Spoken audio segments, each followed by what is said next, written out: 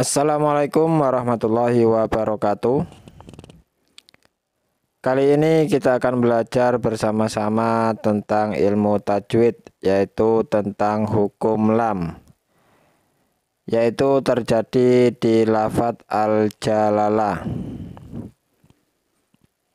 Huruf lam pada kata al-jalalah atau Allah mempunyai tanda tasdid dan baris fathah di atasnya.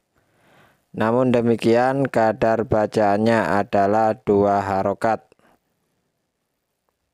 Ia tidak ditanda dengan huruf alif kecil atau untuk membedakannya dengan ejaan kata allata. Jika kata al-jalalah diwakofkan di ujung kata, kadar bacaannya adalah dua atau empat atau enam harokat. Kata ini dilafat dengan tebal atau tipis menurut baris huruf yang sebelumnya. Jika huruf sebelumnya berbaris fathah atau zoma, maka huruf lam hendaklah dilafat dengan tebal atau tafhim. Untuk contoh bacaannya seperti ini. إذ أخذ الله رد الله لن يخرج الله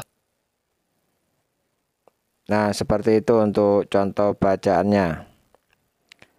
Jika huruf sebelumnya berbaris kasroh, maka huruf lam hendaklah dilafat dengan tipis atau tarkik. Contoh bacaannya seperti ini.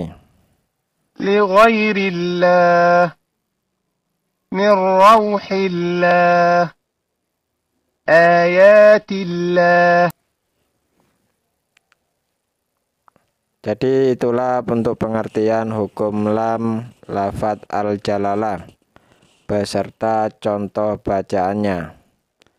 Sekian semoga dapat dimengerti dan bermanfaat. Assalamualaikum warahmatullahi wabarakatuh.